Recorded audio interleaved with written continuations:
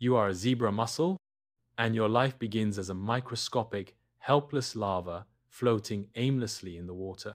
Your parents, who you'll never meet, just ejected millions of eggs and sperm into the water column, hoping for a lucky collision. Somehow, you were part of the 1% that survived fertilization. Congratulations. You're now a free swimming veliger, which sounds fancy, but really just means you're planktonic cannon fodder. For the next few weeks, you drift through the water, completely at the mercy of currents, and anything with a mouth. Tiny fish, zooplankton, and even other filter feeders treat you like a mid morning snack. But if you're lucky, and by lucky, I mean incredibly fortunate, you survive long enough to develop a shell. You're still microscopic, but now you have some armor. It's like wearing a paper thin raincoat during a hailstorm. Eventually, you find a hard surface and settle down.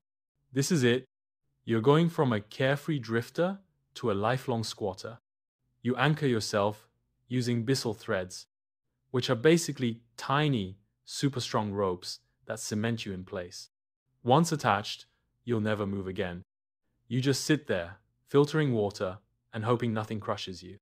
As you grow, you become part of a massive colony of fellow mussels, clumping together into suffocating clusters.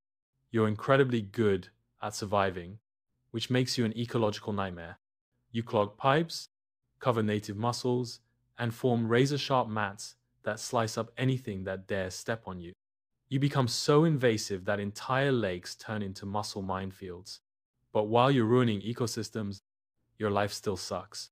For starters, you're a filter feeder, which means you literally spend your entire existence sucking in water and filtering out tiny particles. The downside?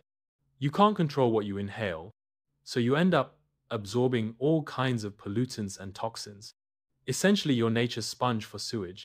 And while you're busy being a biological vacuum cleaner, predators like crayfish and diving ducks come along and gobble you up by the mouthful.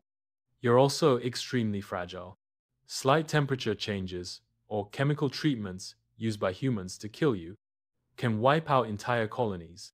You spent your whole life stuck to one spot only to get poisoned in bulk. But even being a toxic, invasive shellfish is better than being a creature whose entire life is spent luring others into a trap. Don't miss the next video, why it sucks to be a trapdoor spider